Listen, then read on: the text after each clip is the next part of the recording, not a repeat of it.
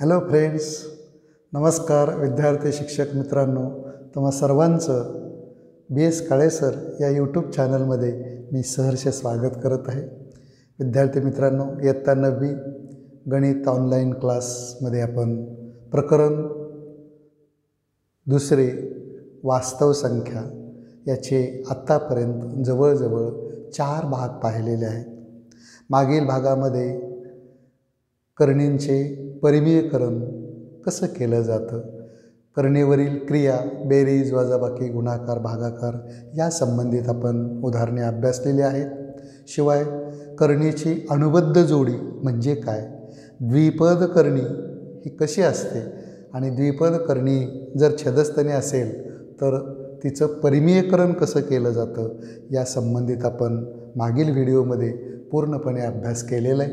विद्यार्थी मित्रांनो या प्रकरणाचा शेवटचा भाग अतिशय महत्त्वाचा की ज्याच्यावर कंपल्सरी एक ते दोन तीन मार्काची उदाहरणे कंपल्सरी विचारली जातात तो भाग फार महत्त्वाचा आहे. शिवाय आपल्या पुढील शिक्षणासाठी फार हा उपयोगी पडणारा भाग आहे आणि अतिशय सोपा भाग आहे.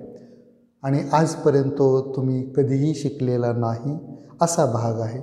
त्यामुळं छोटासाच भाग आहे पण खूप छान तुम्हाला आज मी समजवून देण्याचा प्रयत्न करणार आहे. चला बघूया बघूया आज कोणता भाग आहे तो. या प्रकरणाचा शेवटचा भाग आहे केवल मूल्य. त्यालाच इंग्लिशमध्ये विद्यार्थी मित्रांनो ॲब्सल्यूट व्हॅल्यू म्हणतात. आता ॲब्सल्यूट व्हॅल्यू म्हणजेच केवल मूल्य म्हणजे काय? ही कन्सेप्ट आपण समजून घेऊया. एक्स ही वास्तव संख्या असेल तर एक्सचे केवल मूल्य म्हणजेच ॲप्सिल्यूट व्हॅल्यू किंवा संख्या रेषेवरील शून्यापासून तिचे अंतर लक्षात ठेवा. जेव्हा आपल्याला दाखवायचं असतं तेव्हा केवल मूल्य एक्स असे लिहितात. केवल मूल्य म्हणजे एक दोन छोट्या रेषा असतात. आणि त्याच्यामध्ये ती किंमत असते. म्हणजेच एक्स आपण इथं विचारात घेतलेली आहे. असे लिहितात. याचं वाचन कसं केलं जातं बघा.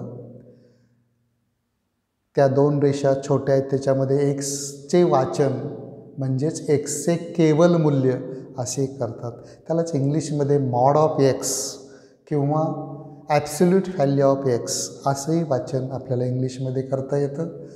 चला बघूया या संदर्भात आपल्याला काही उदाहरणे समजून घ्यायची आहेत केवल मूल्याची व्याख्या त्याच्या अगोदर आपण समजून घेऊया.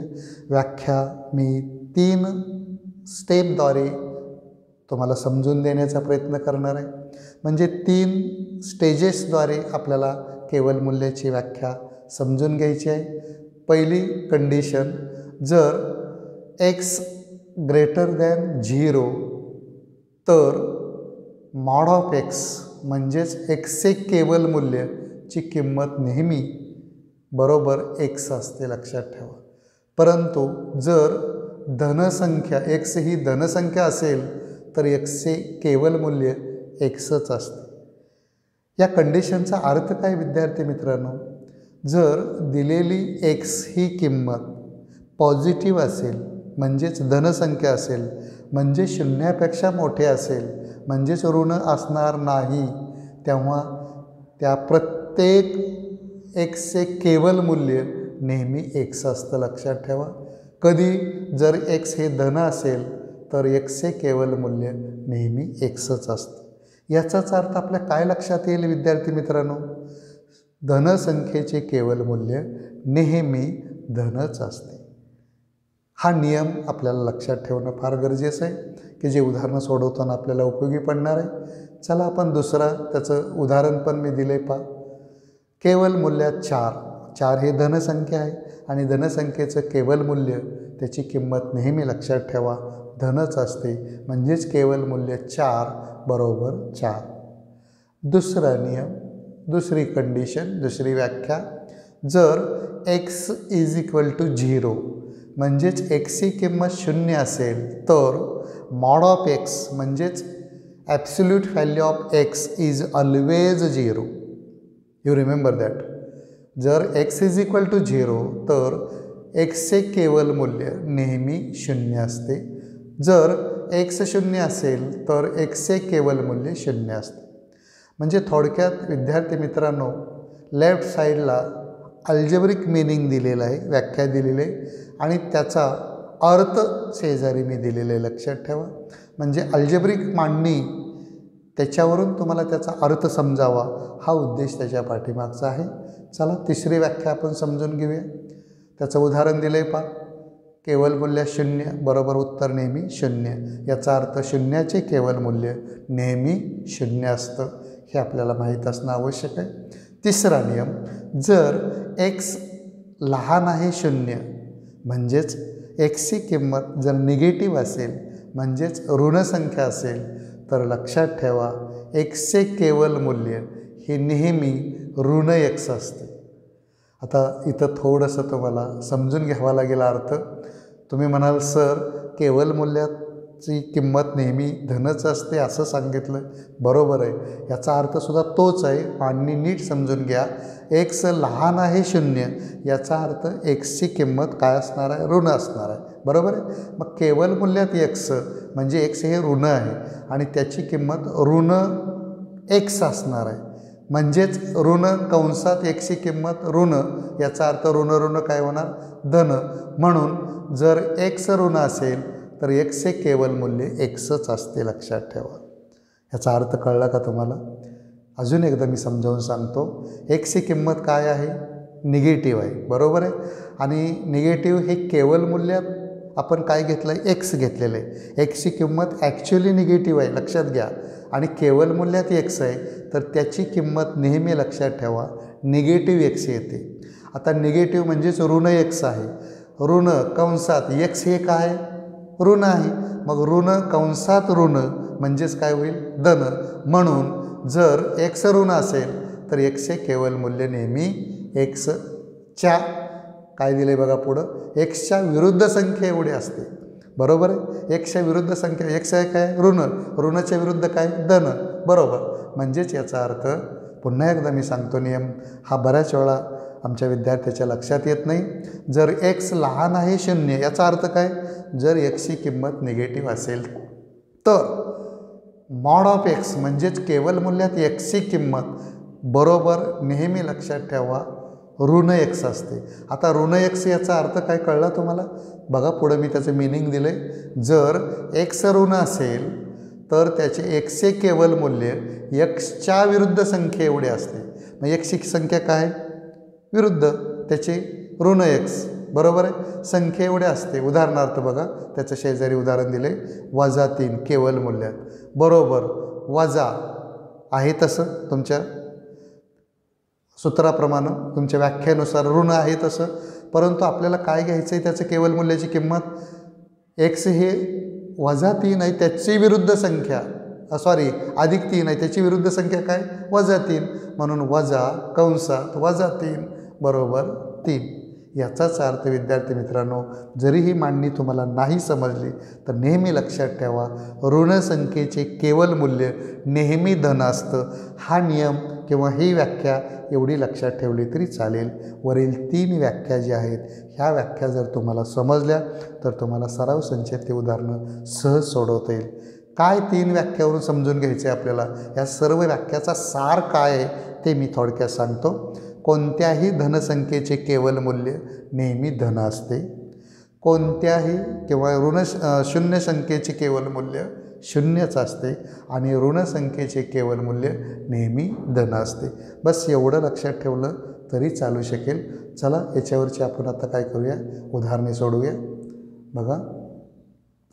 एक खाली मी वाक्य दिलं याच्यावरून. कोणत्याही वास्तव संख्येचे केवल मूल्य ऋण असू शकत नाही. म्हणजेच कसं असतं रे मित्रांनो? त्याचं नेहमी धन असतं. बरोबर? एकदम करेक्ट कोणत्याही वास्तव संख्येचे केवल मूल्य ऋण असू शकत नाही. म्हणजेच ते कसं असतं? धन असतं. एकदम करेक्ट चला पुढं जाऊया. आता सोडवलेली काही मी उदाहरणं तुमच्यासमोर ठेवतो आहे बघा खालील किमती काढा. परीक्षेत आम्हाला डेफिनेटली विचारलं जातात. पहिलं उदाहरण केवल मूल्यात नऊ वजा पाच केवल मूल्य पूर्ण. म्हणजे केवल मूल्याचं चिन्ह म्हणजे दोन रेषा असतात छोट्या आणि त्याच्यामध्ये आपण ही मांडणी करतो. आता बघा बरोबर सोडून घेऊया. केवल मूल्याचं चिन्ह आहे तसंच नऊ वजा पाच किती आलं? चार. आणि केवल मूल्य चार आहे. म्हणजेच त्याची किंमत किती असणार? सर आम्हाला माहीत आहे धनसंख्येचं केवल मूल्य धनच असतं. म्हणजे चारचं उत्तर केवल मूल्यातलं किती आलं? चार. एकदम करेक्ट चला आपण दुसरं बघूया. आता बघा मी थोडीशी गंमत केली आहे तुमची. केवल मूल्यात सात वजा बारा. बरोबर आहे? आता त्याचं उत्तर काढूया आपण. केवल मूल्यात सात वजा बारा याला सोपे रूप देऊया. भिन्न चिन्ह आली की तुम्हाला माहीत आहे. मोठ्या संख्येतून आपण लहान संख्या घालवतो. आलेल्या उत्तराला मोठ्या संख्येचं चिन्ह देतो. म्हणून केवल मूल्यात वजा पाच. बारातनं सात गेले पाच. आणि चिन्ह बाराचं म्हणजे वजा पाच. आता मला सांगा आत्ताच आपण नियम शिकलो तिसरा नियम. किंवा व्याख्या माहीत करून घेतली ऋणसंख्येचं केवल मूल्य नेहमी धन असतं. म्हणजेच ऋण कधी असू शकत नाही. मग ऋण पाचचं केवल मूल्याची किंमत किती असेल? अधिक पाच. बरोबर. एकदम करेक्ट आपण तिसरं उदाहरण बघूया अजून जरा. आता बघा थोडंसं मी काय बदल केलं आहे सेपरेट केवल मूल्याची घेतली संख्या. केवल मूल्यात नऊ वजा केवल मूल्यात वजा चार. काही हरकत नाही. प्रत्येकाचं आपण केवल मूल्य काढूया. काय येईल पहिली स्टेप केवल मूल्यात नऊची किंमत नऊ येणार. वजा आहे तसं तुमचं सूत्र उदाहरणातलं. वजा चारचे केवल मूल्य काय येणार? अधिक चार येणार. मग नऊ वजा चार उत्तर किती आलं? पाच. एकदम करेक्ट चला अजून एक उदाहरण पाहूया चौथं. आता बघा ह्याच्यात मी काय गंमत केले? गुन्हाकार घेतलेले. गुन्हाकार असो भागाकार असो प्रत्येकाचं सेपरेट आपण केवल मूल्याची किंमत काढूया. वजा चारचे केवल मूल्य किती येईल? चार. वजा सहाचे केवल मूल्य किती येईल? सहा. अधिक सहा. बरोबर आहे? आता मला सांगा या दोन्हीचा गुणाकार करता येईल. सहा गुणले चार. किती आला गुणाकार? सर चोवीस. बरोबर. एकदम करेक्ट किती सोपे आहेत उदाहरणं बघा. किमती काढण्यासाठी आपल्याला दोन मार्काचे प्रश्न असतात. निश्चित परीक्षेत विचारलेच जातात. म्हणून हा भाग खूप सोपा आणि महत्त्वाचा आहे. चला आता आपण जरा थोडासा वेगळ्या प्रकारचा प्रश्न बघूया. सोडवा म्हणून एक प्रश्न असतो आम्हाला. दोन ते तीन मार्कासाठी हा प्रश्न असतो विद्यार्थी मित्रांनो. सोडवा केवल मूल्य एक्स वजा सात बरोबर तीन. विद्यार्थी मित्रांनो ज्यावेळेस चल असतं आणि केवल मूल्यामध्ये एक तुम्हाला पदावली दिलेली असते आणि बरोबरच्या पुढं त्याची किंमत दिलेली असते त्यावेळेस नेहमी लक्षात ठेवा पदावलीचं जेव्हा तुम्ही केवल मूल्य काढता बैजिक पदावलीचं जेव्हा केवल मूल्याची किंमत काढता त्यावेळेस नेहमी लक्षात ठेवा जी किंमत आहे ती दोन प्रकारे मिळते. एक पॉझिटिव्ह मिळते एक निगेटिव्ह मिळते. म्हणजे दिलेल्या बैजिक राशीची केवल मूल्याची किंमत नेहमी लक्षात ठेवा दोन प्रकारे मिळते. एक पॉझिटिव्ह एक निगेटिव्ह म्हणजे धन आणि ऋण.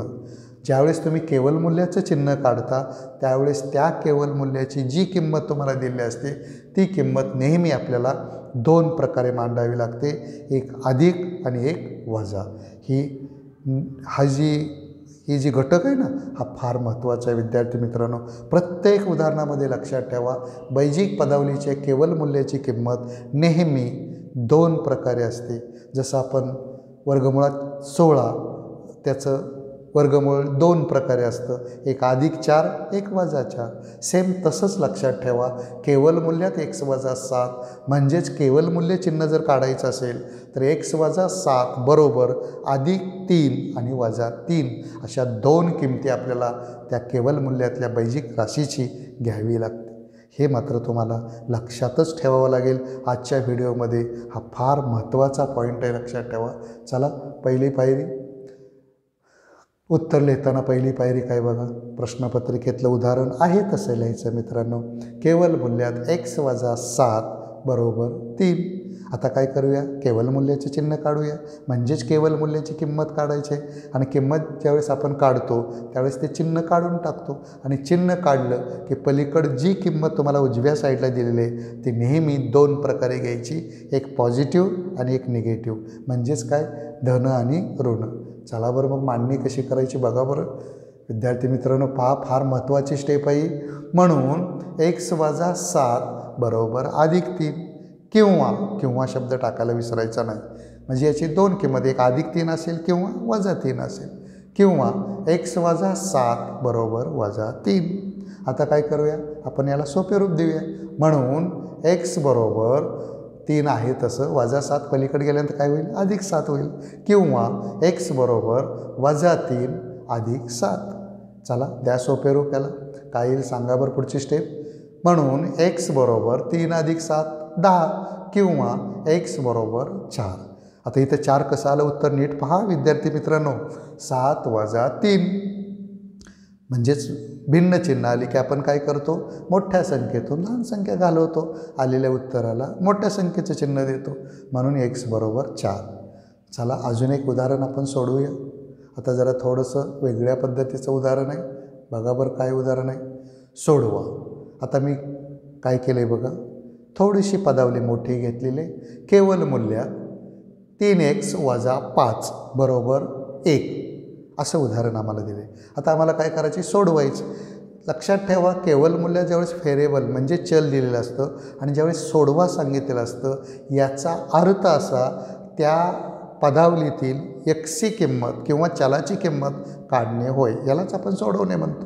चला पहिली स्टेप नेहमीप्रमाणे सांगा. तीन एक्स वजा पाच बरोबर केवल मूल्यात आहे तसं बरोबर एक. आपण प्रश्न आहे तसा उत्तरपत्रिकेत लिहितो.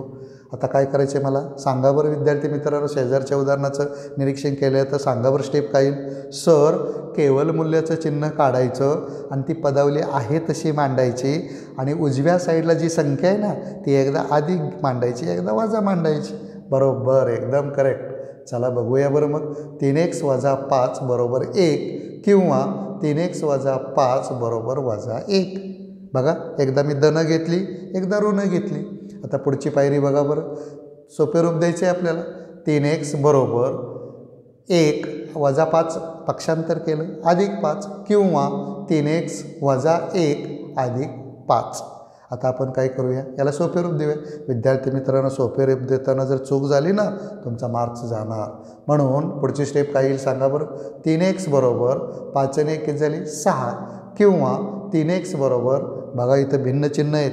भिन्न चिन्ह म्हणले की तुमच्या डोक्यात लगेच फ्लॅश पडला पाहिजे. काय सांगा बरं. सर आता मला माहीत झालं आहे मोठ्या संख्येतून लहान संख्या घालवायची. आलेल्या उत्तराला मोठ्या संख्येचं चिन्ह द्यायचं. बरोबर. पाच वजा एक किती आलं उत्तर? मग चार. आणि म्हणून आता आपल्याला कुणाची किंमत उत्तर संपलं करे आपलं? नाही सर. आपल्याला सोडवा म्हणजे एक्सची किंमत काढावी लागते. चला बघूया मग. एक्स कशी काढणार? सर तीननं एक्सला गुणलेलं आहे. त्याला पक्षांतर केल्यानंतर पलीकडं भागिले होणार. हे माहिती आहे मला सर. बरोबर. चला एक्स बरोबर. काय येणार सांगा बरं. सहा भागिले तीन.